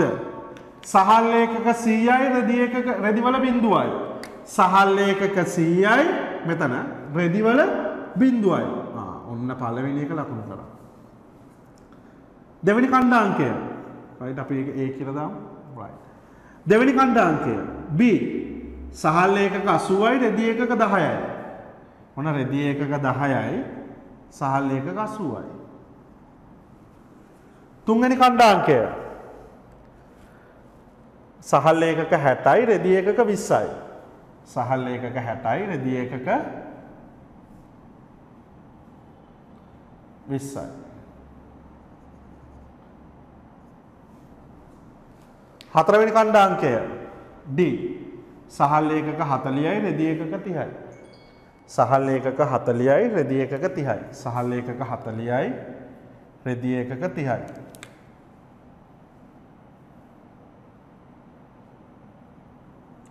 හරි. මුලින්ම ඔයා බලන් ඉන්න. හරි. හතරවෙනි කණ්ඩාංකය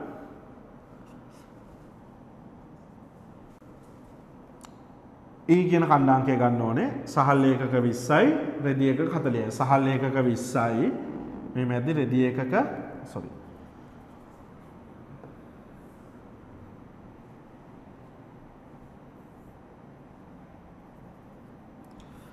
සහල් ඒකක 20යි රෙදි ඒකක 40යි.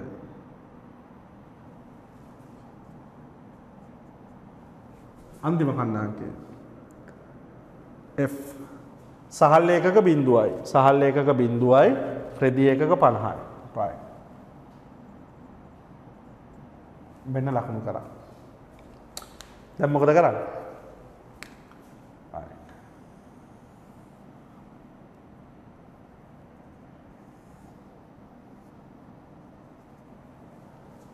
හරි. ඒ ටික යා කරලා අඳිනවා රේඛාවක් මෙන්න මේ රේඛාවට අපි කියන මොකක් කියලාද? නිෂ්පාදන හැකියා මායිම. right? මෙන්න අපේ පාඩම නිෂ්පාදන හැකියා මායිම. මේ තියෙන්නේ. මොකද්ද අපි කරේ? නිෂ්පාදන හැකියා ලේඛනය තුල තියෙන විකල්ප නිෂ්පාදන සංයෝග ටික A B C D E F කියන විකල්ප නිෂ්පාදන සංයෝග ටික කාට සිය තලයකට ලකුණු කරා. ඒ ලකුණු කරාට පස්සේ අපිට එන රේඛාව අපි කියනවා නිෂ්පාදන හැකියා මායම කියලා. right? හරි. බලන්න එහෙනම් නෝට් එක නිෂ්පාදන හැකියා මායම දෙන ලද අවස්ථාවකදී ආර්ථිකය සතු සියලු සම්පත් හරි ඔව් අපි මේ සහල් සහ රෙදි හදන්නේ ඒ වෙලාවේ ආර්ථිකයේ තියෙන සියලුම සම්පත්‍ති කරගෙන. සියලු සම්පත් ගන්න නැතුව විභව නිෂ්පාදනයක් කරන්න බෑ නේද?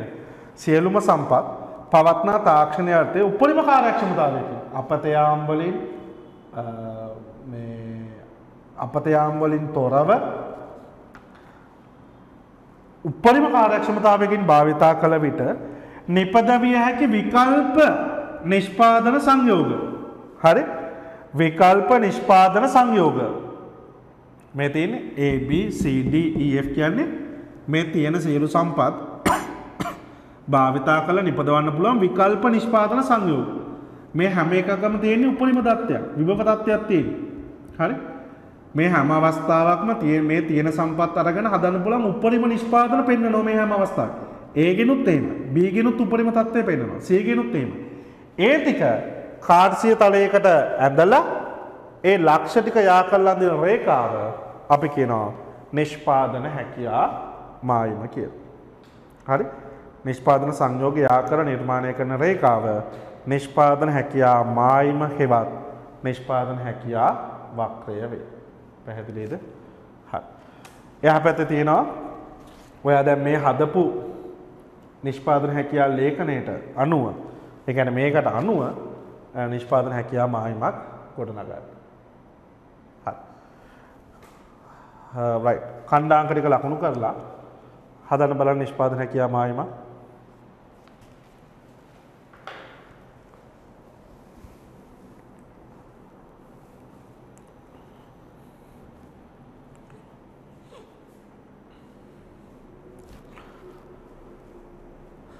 කාර්සිය තලයක අපි අක්ෂ දෙකයි ගන්නේ. මොකද අපි ධන අවස්ථාව විතරයි ගන්නේ ඍණ අවස්ථාව පෙන්වන්නේ එතකොට එක ධන අවස්ථාවක් අපි ගන්නවා එක බහන්දයකට සහල්. ඔය මේ දෙක මාරුණා කියලා එහෙම ගැටලුවක් නැහැ හරි ඒක ප්‍රශ්නයක් නැහැ මේ අක්ෂ දැන් මේ සිරස් අක්ෂයට. හරි සහල්ම ගන්න ඕනේ. එහෙම එකක් නැහැ ඒක ප්‍රශ්නයක් නැහැ මේ බහන්ඩ වර්ග දෙකෙන් කැමති එකක් සිරස් අක්ෂයට ගන්න කැමති එකක් තිරස් අක්ෂයට ගන්න. හැබැයි ඒ ගන්න බහන්ඩයට අදාළව තමයි කණ්ඩාංග නිර්මාණය කරන්න ඕන රයිට් මේ පැත්තට සහල් ගත්තට පස්සේ මේ පැත්ත 10 20 30 40 50 එහෙම දාන්න බෑ. හරි? ඒක ඔයා දන්න ඕනේ. ඔයා නිකන් හිතන්න ඔයාගේ A level maths paper එකේ x සහ y කියලා දෙකක් දීලා තියෙනවා ඊට අනුව ඔයා ප්‍රස්තාරය අඳිනවා. හරි? Right.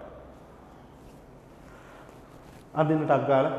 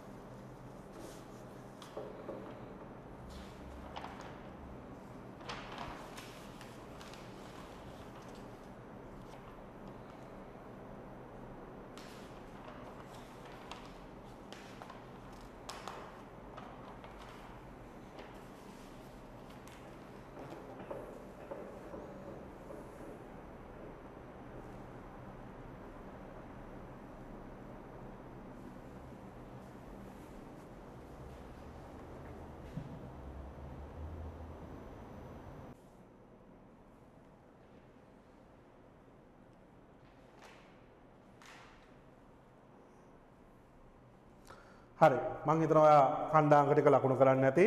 සහල් වලට අදාළ කණ්ඩාංක 20 40 60 80 100 රෙදි වලට අදාළව 10 20 30 40 50 right? ඊට පස්සේ ඔන්න පළවෙනි විකල්ප නිෂ්පාදන සංයෝගය ගත්තා. මොකක්ද? සහල් 100යි රෙදි බිඳුවයි. right? සහල් 100යි රෙදි බිඳුවයි. දෙවෙනි නිෂ්පාදන සංයෝගය සහල් එකක 80යි රෙදි එකක 10යි ඔයා හරියට හරි මිනුම් අරගෙන කරන නිසා ඔයාට හරි දත්වයක් එයි. මම වගේ පොඩ්ඩක් ඇද වෙලා ඒට වෙලා එහෙම යන්න නැතුව ඇති හරි? හරි දත්වයක් එයි. සි තුන්වෙනි නිෂ්පාදන සංයෝගය ගත්තා. ඒක කණ්ඩාංක තමයි සහල් 60යි රෙදි 20යි සහල් වලින් 60යි රෙදි වලින් 20යි හතරවෙනි කණ්ඩාංකය එනවා D කියන එක. සහල් වලින් 40යි රෙදි වලින් 30යි සහල් වලින් 40යි රෙදි වලින් 30යි රයිට් ලකුණු කරා පස්වැනි කණ්ඩාංකය E කියන එක විකල්ප නිෂ්පාදන සංයෝගය. E කියන විකල්ප නිෂ්පාදන සංයෝගය සහල් වලින් 20යි රෙදි වලින් 40යි. ඔන්න ලකුණු කරා. ඔන්න අවසාන කණ්ඩාංකය. නැත්තම් රෙදි නිෂ්පාදනයේ අන්තය. ඒ කියන්නේ රෙදි විතරක් භාවිතා කළොත් හදන්න පුළුවන් උපරිම එක. අන්තය. මේක ඇවිල්ලා සහල් නිෂ්පාදනයේ අන්තය. සහල් විතරක් හදනවා නම් හදන්න පුළුවන් සහල් උපරිම ප්‍රමාණය. එතකොට රෙදි බිඳුවයි. රෙදිවල අන්තයේදී සහල් බිඳුව. F කියන විකල්ප නිෂ්පාදන සංයෝගය සහල් බිඳුවයි රෙදි පමණයි. ඒ ටික යා කළ රේඛාව වැන්දොත් මෙන්න මේ රේඛාව තමයි පුතේ අපි කියන්නේ මොකක් කියලාද? රේඛාවට කියනවා නිෂ්පාදන හැකියා මාන.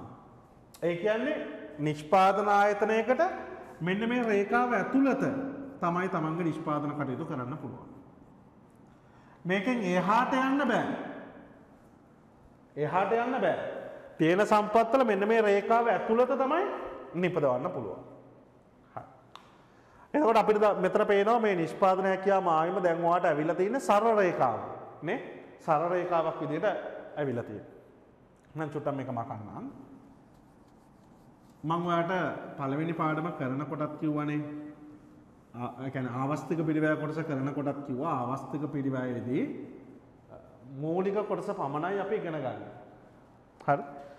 අපි ආවස්තික පිරිවැය ගණනය කිරීම ගැන ඉගෙන ගන්නේ නැහැ. ඒ නිසා අපිට ආවස්තික පිරිවැය ස්වරූප තුනක් තියෙනවා. අපි ඒ ස්වරූප තුන පිළිබඳව දිගට ඉගෙන ගත්තේ නැහැ. මොකක්ද? ස්ථාවර ආවස්තික පිරිවැය. වැඩෙන ආවස්තික පිරිවැය. හීනවන ආවස්තික පිරිවැය. අපි දිගට ඉගෙන ගත්තේ නැහැ. ඒ කියන්නේ මෙන්න මේ වගේ ලේඛනයක් ගත්තොත් මේ ලේඛනයට අදාළ අපිට ආවස්තික පිරිවැය ගණනය කරන්න පුළුවන්. සාහල් නිෂ්පාදනය කරනකොට රෙදි නිෂ්පාදනය මේ එක් එක් අවස්ථාවෙන් අවස්ථාවට අදාළව අපිට ගණනය කරන්න පුළුවන්. එහෙම ලේඛනයකට අදාළව ආවස්තික පිරිවැය ගණනය කරාම ඒ අපිට ලැබෙන පිළිතුරු අනුව තමයි මෙන්න මේ ආවස්තික පිරිවැය අවස්ථා තුන අපි හඳුනගන්නේ. ඒ කියන්නේ මම සරලව මේ ගණනය කරාට පස්සේ ලැබෙන ආවස්තික පිරිවැය දත්තය හරි මේ හැම අවස්ථාවකටම අදාළව ඔයාලට අවස්තික පිරිවැය ගණනය කරන්න පුළුවන්. ඔයා A level කරනකොට ඒක ඉගෙන ගන්න. අපි දුමු ආවස්තික පිරිවැය කියලා ගණනය කරන්නේ කැපකිරීමනේ. කැපකිරීම හැමතැනම එකම අගයක් නම්. ඒ කියන්නේ 10. 10. මම මේ සරල ගන්න මේ මේකට අදාළ එකක් නෙමෙයි. නිකන්. හරි. අපි මෙහෙම හිතමු.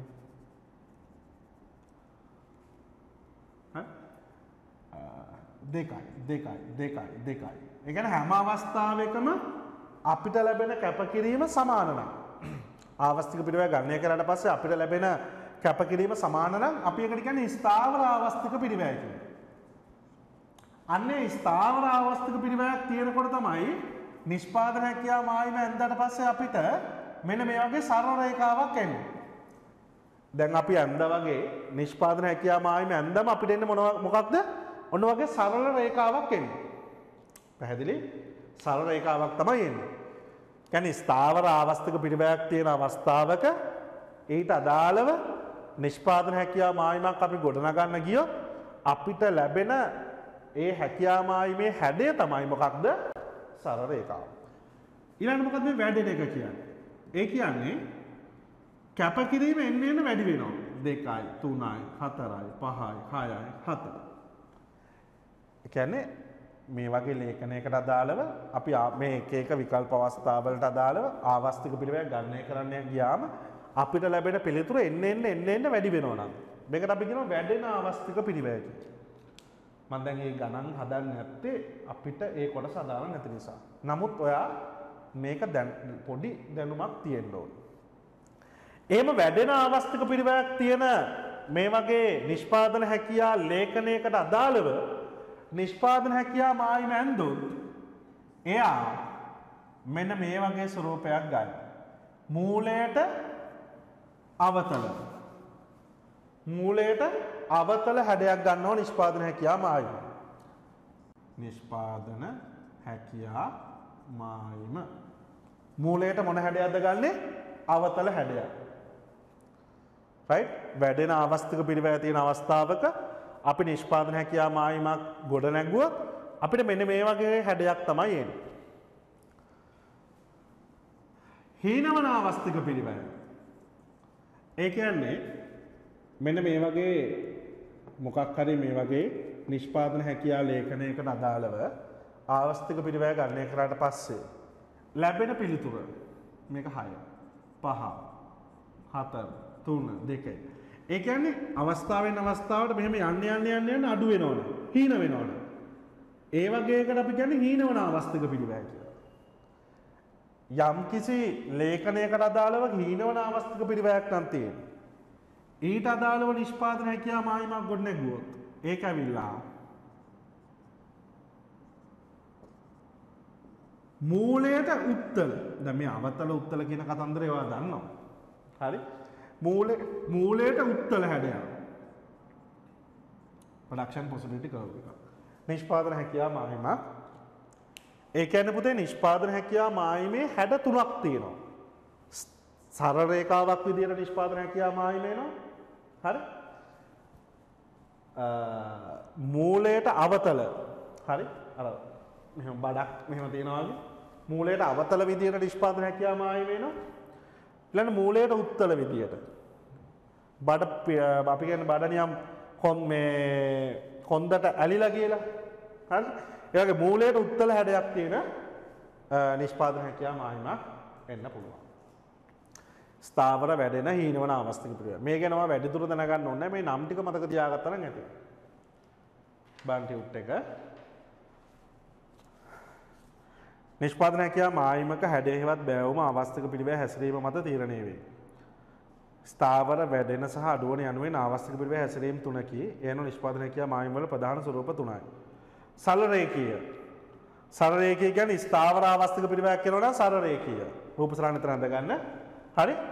මේ වගේ සරල රේඛාවක් එන්නේ. හරි? සරල රේඛාවක්. අඳගන්න රූප සරහන.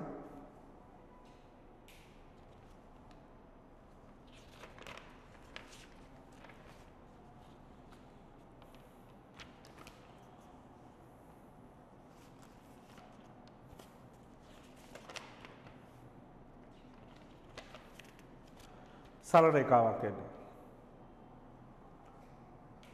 ඊළඟ එක මූලයට අවතල.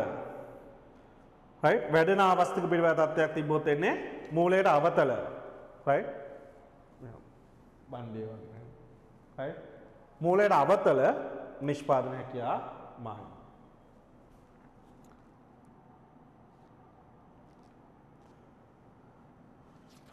ඊළඟ පිටුවට යන්න රයිට් ඒවාට හිස්තනක් දීලා තියෙනවා 16 වෙනි පිටුවේ උඩ. එතන කොටුවක් ඇඳලා ඊළඟට අදින්න එතන කොටුවේ උඩින් ලියා ගන්න මෙහෙම.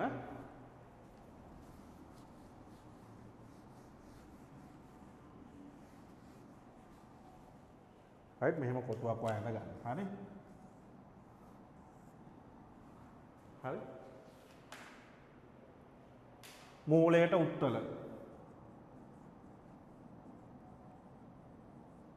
උත්තල හීනවන ආවස්තික පිරිවය.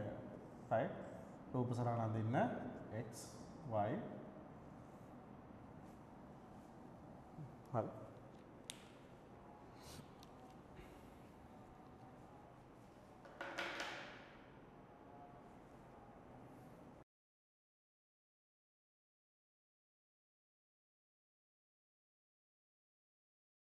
ගත්තා හරි ඕනෑම ලක්ෂයක් ගත්තත් එතනින් අපිට පෙන්න්නන උප්පරිම නිෂ්පාදනය හරි ඊළඟ අනුමාර්ථකාව නිෂ්පාදන හැකයා මායමක් නිර්මාණය කිරීමේදී යොදාගන්න උපකල්පන.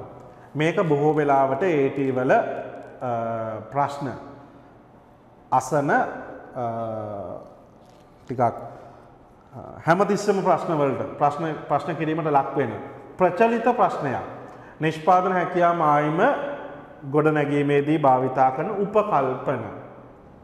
දැන් ඔයාට මතක ඇති මම අර පළවෙනි එක කියලා දෙද්දිත් කිව්වා පාන් පිටි කිලෝ 100ක් තියෙනවා ඒ 100 පාවිච්චි කරලම පාන් ගෙඩි හැදුවොත් තමයි පාන් ගෙඩි එකක 100ක් හැදුවොත් තමයි ඒක උපරිම නිෂ්පාදනය නැත්නම් විභව නිෂ්පාදනය වෙන්නේ. නේ? උපරිම නිෂ්පාදනය. ඒතර මේ පාන් පිටි කිලෝ ප්‍රමාණය වෙනස් වුණොත් මේ හදන්න පුළුවන් උපරිම නිෂ්පාදනයක් මොකක් වෙනවද? වෙනස් වෙනවා. එනිසා මේ පාම්පිටි ප්‍රමාණය ස්ථාවර. හරි? අර පන්ති ඇතුළේ ඩෙස්ක පහයි තියෙන ඒක ස්ථාවරයි. එනිසා තමයි උපරිම ප්‍රමාණය ළමයි පහළවක් වුණේ ඒ කියන්නේ සම්පත් සම්භාරය ස්ථාවරව ඒක වෙනස් වෙන්නේ නැතිව තියෙනවා කියන උපකල්පනය මත තමයි අපි විභව නිෂ්පාදන ටික හොයාගන්නේ. එතකොට මේ විභව නිෂ්පාදන යා කරලා අඳින රේඛාවටත් ඒ උපකල්පනයම තමයි. මොකක්ද? සම්පත් සම්භාරය ස්ථාවරයි. සම්පත් සම්භාරය වෙනස් වෙන්නේ නැහැ. එහෙනම් පළවෙනි උපකල්පනය මෙන්න මේ රේඛාව අඳින්න නැත්නම් නිෂ්පාදන හැකියාව මායිම අඳින්න අපි පාවිච්චි කරන පළවෙනි උපකල්පනය සම්පත් ස්ථාවරයි. ඒ වෙලාවේදී භාවිතා කරන සම්පත් ප්‍රමාණය ස්ථාවරයි. සම්පත් වෙනස් වුණා කියලා හිතන්න. අනිවාර්යෙන් නිපදවන්න පුළුවන් උපරිම ප්‍රමාණය මොකක් වෙනවද? වෙනස් වෙනවා. ඒ කියන්නේ මේ රේඛාව වෙනස් වෙනවා. උපරිම ප්‍රමාණය නැත්තම් විභව නිෂ්පාදනය වෙනස් වෙනවා කියලා කියන්නේ අනිවාර්යෙන් මේ රේඛාව. මේ දත්ත මේ ඇතුලේ දත්ත වෙනස් වෙනකොට අනිවාර්යෙන් මේ රේඛාවත් මොකක් වෙනවද? වෙනස් වෙනවා. එනවන පළවෙනි උපකල්පනය භාවිතා කරන සම්පත් සම්භාරය සම්පත් ප්‍රමාණය ස්ථාවර. දෙවනි එක තාක්ෂණය. හරි? දැම් මේ බහන්ඩ හදන තාක්ෂණයක් තියෙනවන. පාන් හදන තාක්ෂණයක් තියෙනවන. දරපෝරණු මේ දාලා පුච්චල ගන්න වෙන්න පුළුවන්. සරලමං කිය අවන්න එකේ දාල් හදන වෙන්න පුළුවන්. හරි? මොකක් හරි තාක්ෂණයක් තියෙනවා අන්නේ තාක්ෂණය වෙනස් වෙන්නත් බෑ. ඒ තාක්ෂණය වෙනස් වෙනකොට සමහරක් නිපදවන්න පුළුවන් ප්‍රමාණය වෙනස් වෙන්න පුළුවන්. පැහැදිලිද මම මේ කියන කතාව? තාක්ෂණය වෙනස් වෙනකොට නිපදවන්න පුළුවන් ප්‍රමාණය වෙනස් වෙන්න පුළුවන්. ඒ නිසා දෙවෙනි උපකල්පනය තාක්ෂණය ස්ථාවරයි. ආර්ථිකය නැත්තම් ඒ ආයතනයේ සතුව තියෙන සම්පත් ස්ථාවරයි ඒක හදන්න භාවිතා කරන තාක්ෂණය ස්ථාවරයි. ආර්ථිකය නිෂ්පාදනය කරන්නේ බහන්ඩ වර්ග දෙකක් බව. ඒකට නම් හේතුව පුතේ කාටසිය තලයක අපිට පෙන්වන්න පුළුවන් ධනවස්ථා දෙකයින් තියෙන්නේ. ତර බහන්ඩ වර්ග තුනක් ආවොත් ඒකට අපිට හැඩතලයක් අඳින්න බැරි වෙනවා. ඒ නිසා කාර්සිය තලයේ තියෙන්නේ ලක්ෂ අක්ෂ දෙකක් නිසා අපි උපකල්පනය කරනවා ඒ වෙලාවේදී මම අර උදාහරණයක් ගත්තේ AB කියන ආයතනය පාන් පිටි වලින් හදන්න පුළුවන් දේවල් ගොඩාක් තියෙනවා. නමුත් ඒ වෙලාවේ හදන්නේ දෙකයි. මොකක්ද? පාන් සහ බනිස්. කේක් හදන්න පුළුවන්, ඉන්දියාප්ප හදන්න පුළුවන්. ඒ මොනා තිබ්බාද? එයා හදන්නේ දෙකයි. මං ඇයි එහෙම උපකල්පනය කරේ? එහෙම කළොත් විතරයි මට හැකියා මායිම මේ වගේ හැඩතලයක් හදාගන්න පුළුවන් වෙන්නේ. right? එහෙනම් ඔන්න තුන්වෙනි උපකල්පනය. හදන්නේ බහණ්ඩ දෙකක් විතරයි. ඔන්න උපකල්පන ප්‍රධාන වශයෙන් තුනක් කතා කරා. එකක් සම්පත් සම්භාරය ස්ථාවරයි ඊළඟ තාක්ෂණය ස්ථාවරයි ඊළඟ ආර්ථිකය නිෂ්පාදනය කරන්නේ බහන්ඩ වර්ග දෙකක් පමණයි හරි මං තව එකක් වුවන පළවෙනි එකම වාට කියලා දෙනකොට සීයම හදන්න නම් කරුණු දෙකක් ඉටුවෙන්න මොකක්ද? සියලු සම්පත් පාවිච්චි කරන්න ඒ කියන්නේ පූර්ණ සේවා නියුක්තිය. ඒ සම්පත් හරි කාර්යක්ෂම හරි ආකාරයෙන්. අපතයාමකින් තොරව අනවශ්‍ය ලෙස පාවිච්චි නොකර අපතයාම්ව අපතයාම් නැත්තං වැසිරිලා හැලිලා එහෙම යනයවලින් තොරව නිසි කළමනා කරනයකින් ත උපරිම තාක්ෂණයකින් උපරිම කාද උපරිම කාර්යක්ෂමතාවයකින් පාවිච්චි කරන්න ඕන කළ කිව එන ඒකත් ඉටුවෙන් නොන මොකක්ද සම්පත් සම්බාර ස්ථාවරය තමයි ඒ සම්පත් පූර්ණ සේවා නියුක්තිය සහ නිෂ්පාදන කාර්යක්ෂමතාවය නැත්නම් පූර්ණ සම්පත්. හරි? නිෂ්පාදන කාර්යක්ෂමතාවය ඉටුවන ආකාරයට පාවිච්චි කරන්න ඕන. ඔන්න ඔය හතර තමයි නිෂ්පාදන හැකියා මායිමේ ප්‍රධාන අවස්ථා හතර. මොකක්ද? සම්පත් සම්භාරය ස්ථාවරයි තාක්ෂණය ස්ථාවරයි ආර්ථිකය හදන්නේ බහන්ඩ වර්ග දෙකක් පමණයි ඊළඟට. සියලු සම්පත් මේ තියෙන සියලුම සම්පත් ටික උපරිම වශයෙන් නිෂ්පාදන කාර්යක්ෂමව භාවිතා කරනවා. බණ එක තියෙන විදිය. පූර්ණ සේවා නියුක්තිය හා නිෂ්පාදන කාර්යක්ෂමතාව ඉටුවන අයුරින් සියලු සම්පත් බෙදා හරින බව. ඊළඟ උපකල්පනය සමහර පොත්පත්වල තියෙන උපකල්පන හතරයි කියලා. සමාරයවල පහක් කියලා තියෙනවා. ඕක චුට්ටක් වෙනස් වෙන්න පුළුවන්. හේතුව ඊළඟ උපකල්පනයත් එක්කම බලමු. PPC එක නිෂ්පාදන හැකියා මායම නිර්මාණය කර ලබන්නේ නිශ්චිත කාල පරිච්ඡේදයකට පමණයි. PPC නිපදවන්නේ නිශ්චිත කාලයකට පමණයි. සමහර අය කියනවා මේක මේ හැම එකකටම අදාළ කරගන්න. ඒ කියන්නේ නිශ්චිත කාල පරිච්ඡේදයක් තුළ සම්පත් සම්භාර ස්ථාවරයි. නිශ්චිත කාල පරිච්ඡේදයක් තුළ තාක්ෂණය ස්ථාවරයි. නිශ්චිත කාල පරිච්ඡේදයක් තුළ ආර්ථික නිපදවන්නේ බහණ්ඩ වර්ග දෙකක් පමණයි. නිශ්චිත කාල පරිච්ඡේදයක් තුළ භාවිතා කරන සියලුම සම්පත් ඉහළම කාර්යක්ෂමතාවයකින් භාවිතා කළ යුතුයි. ඔන්න ඕක තමයි උපකල්පනය. ඒ නිසා ප්‍රධාන උපකල්පන හතරක් කියලා ලිව්වත් කමක් නැහැ. නැත්නම් පහ ලිව්වත් ප්‍රශ්නයක් නැහැ. ඒක ගැටලුවක් නැහැ. පොත්පත්වල ওই දෙවිදියටම තියෙනවා. පැහැදිලිද? හරි. එහෙනම් නිෂ්පාදන හැකියා මායිම කියන කොටසේ මූලික කොටස් කිහිපය අපි හොඳින් ඉගෙන ගත්තා. නිෂ්පාදන හැකියාව කියන්නේ මොකක්ද? විභව නිෂ්පාදනය කියන්නේ මොකක්ද? ඒක කොහොමද මායිමකට පරිවර්තනය කරගන්නේ? නිෂ්පාදන හැකියාව මුලින් නිෂ්පාදන හැකියාව ලේඛනයකට ගන්න ඕනේ. ඒ ලේඛනය කාඩසිය තලයකට ගන්න ඕනේ. කාඩසිය තලයකට ගත්තට පස්සේ තමයි අපිට නිෂ්පාදන හැකියාව මායිම ලැබෙන්නේ. ඊළඟට AT වල ප්‍රචලිත ප්‍රශ්නය මේ කොටසේ වැඩිපුර අහන ප්‍රශ්නය නිෂ්පාදන හැකියාව මායිම් මෙන්න මේ වක්‍රය මේ වක්‍රය නිර්මාණය කරද්දී භාවිතා කරන උපකල්පන මොනවාද? උපකල්පන ප්‍රධාන වශයෙන් හතරයි. පහක් වුණත් ප්‍රශ්න නැහැ. මොකද්ද? නිශ්චිත කාල පරිච්ඡේදයක් තුල සම්පත් සම්භාරය ස්ථාවරයි. මම ඔයාලට කියලා දෙන හැම වෙලාවකදී මේක කිව්වා. මේ AB කියන ආයතනය සතුව තියෙන්නේ පාම්පිටි කිලෝ 100ක් විතරමයි. ඩෙස්ක පහක් විතරමයි තියෙන්නේ. සම්පත් සම්භාරය ස්ථාවරයි.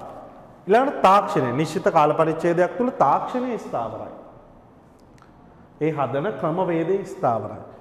නිශ්චිත කාල පරිච්ඡේදයක් තුළ ආර්ථික නිපදවන්නේ භාණ්ඩ වර්ග දෙකක් පමණයි. ඒකට හේතුව කාටසිය තලයේ අක්ෂ තියෙන්නේ දෙකයි. තුනක් නෑ.